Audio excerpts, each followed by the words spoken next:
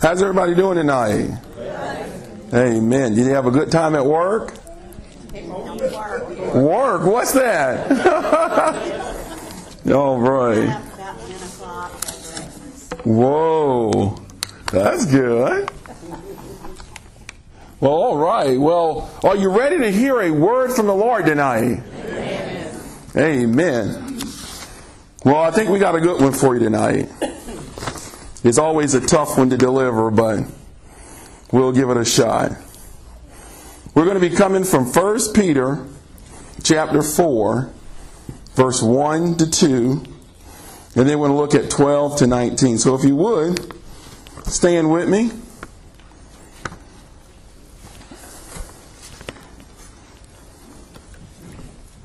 First Peter chapter 4 verse 1 to 2. Are you there?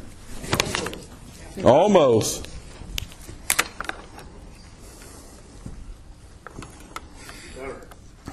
Mm-hmm. it reads this way For as much then as Christ hath suffered for us in the flesh, arm yourselves likewise with the same mind.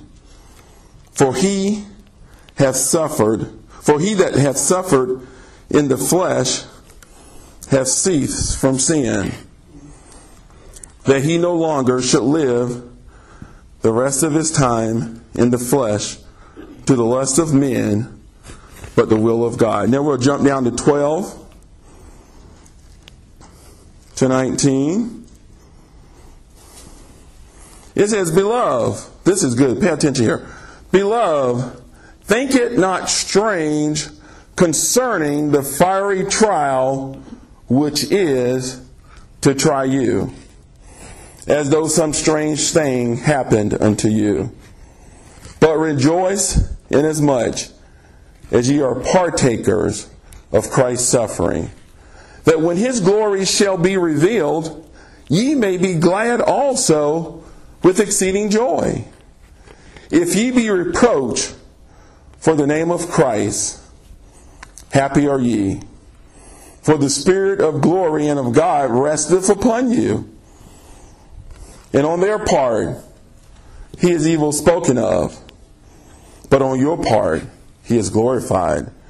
But let none of you suffer as a murderer, or as a thief, or as an evildoer. Now look at this next one. Or as a busybody in other men's matters.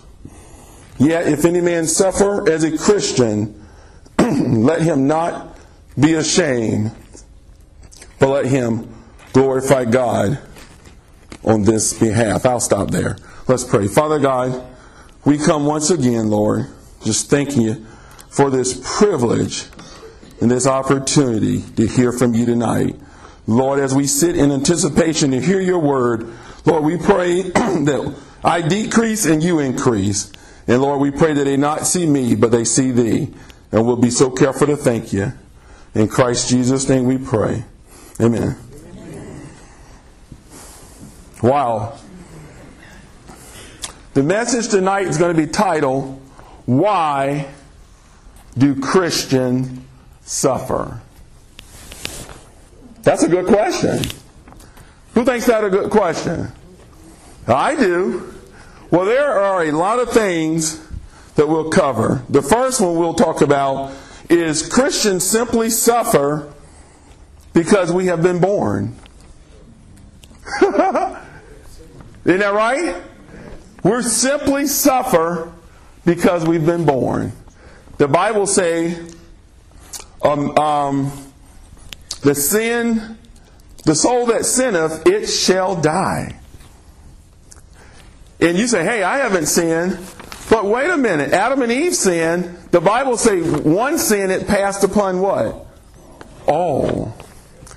So you are simply going to suffer because you've been born. No way around it. Well, if you think about it, when Jesus, uh, well, when God went down the line and talked to Adam and Eve, he gave them some stipulations. The man would work with the sweat of his brow. The woman will have suffering and trial bearing. Wouldn't you always wonder what would have happened if they didn't sin? Man, I always wondered that. Man, ladies would have just pushed it out with no problem. Maybe the food just would have growed up and you just pick it. You wouldn't have to till the ground. I don't know. But we simply suffer because we've been born. Romans 5:12 tells us that, and that's the scripture that we quoted. Here, here's what it says.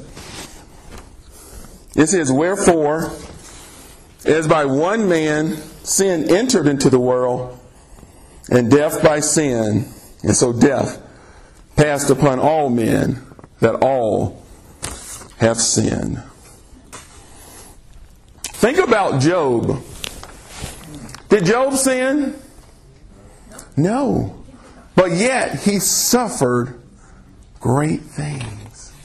Think about Jesus. He didn't sin, but he suffered.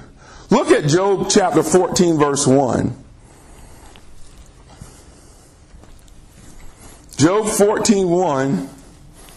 And this is be clear here. I think it, the Bible always much clearer than I am.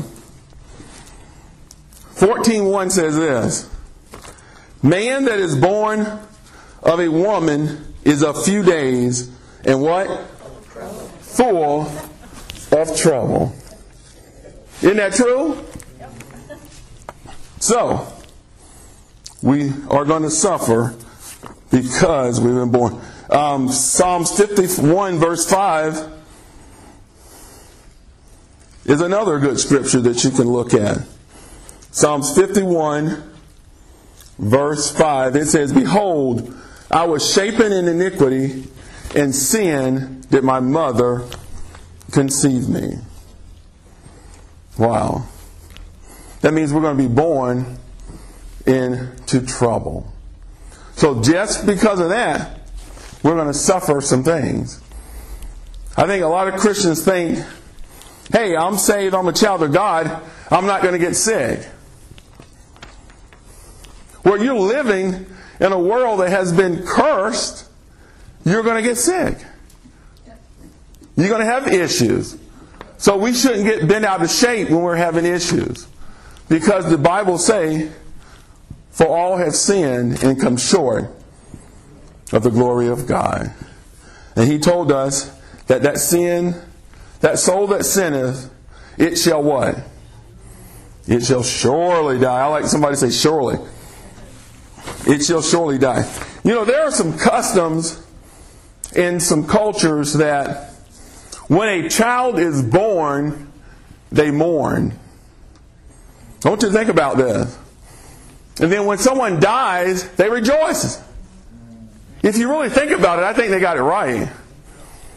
Because you think about that little baby, oh, it's so cute, but boy, that feller and that girl's going to go through so much heartbreak, hurt, getting fall, fall, and all that stuff. So they mourn when the person is born. And then when someone dies, they rejoice. And that's the way I think it should be. So we simply suffer because we've been born. You didn't do anything wrong. Now, the next reason we suffer, here's number two. The chastening hand of the Lord we suffer. When the Lord chastens us, well, we like to say, get a whooping. Whenever the Lord whoops you, He knows how to do it. I don't know about you, but I'm telling you, it's I'm, I'm a, um, a, a big family. It's eight of us, and I'm telling you, when my daddy whoops, man, I'm telling you, we scattered. I remember one time he was he got his belt with the holes in it. Well, I knew I was in trouble. I mean, I was under the bed and he just lifting the bed up, coming after me. So I'm telling you, when your daddy whoops you, he knows why he's whooping you, and it's really for your benefit. I really did do something bad. And thank God that he disciplined me. If you have a parent that doesn't discipline you, they probably don't love you. Well, don't take my word for it. Let's take a look at this. Hebrews chapter 12, Hebrews chapter 12, 5 through 8. Listen to this. Hebrews chapter 12, 5 through 8. Man, this is good. Are you there? It says, And ye have forgotten the exhortation which speaketh unto you as unto children. My son, despise not thou the chastening of the Lord, nor faint when thou art rebuked of him. For whom the Lord loveth, he chasteneth, and he scourgeth every son whom he receiveth. If ye endure chastening, God dealeth with you as with sons. For what son is he whom the Father chasteneth not? I'm telling you, he's not a son. But if ye be without chastisement, where all ye all are partakers, then ye are bastards and not son. So if the Lord, if you can sin willingly, and the Lord is not chastening you, you're not saved. I'm not, don't fool yourself. Because the Lord will get you in line. It's right here. If you can just continue to go on and sin, have no thought for what you're doing wrong, you're probably not his son. Would everybody agree there? Absolutely. Bill, is that right? Okay. Bill was staring at me there. So, okay. So the chastening hand of the Lord, whenever we sin, the Lord will get us in line. Thank God for that. Um, you know, there's actually a story in the Bible where um, these kids were, I, I, can't remember, I'm just going to tell you, you probably will pick it up. Well, these kids were doing something wicked, and their dad knew it and didn't stop it, and the Lord got the dad. I told my boys, you do something wrong, I'm going to be on you whiter than right. A matter of fact, I'm, I'm going to be on you so fast, you're grass and I'm the lawnmower. I'm going to get you. So whenever you're doing something wrong, I am going to try to put you in line so that so that you can glorify God. That's the key. I want you to think about this. Think about this. Who do you think your kid, you know, why did God put honor your mother and father in the Ten Commandments? You don't think that was important? Think about who, even before God, your kids are going to see the parents, right? And I get people at work telling me, just let your kids do what they want to do, find themselves.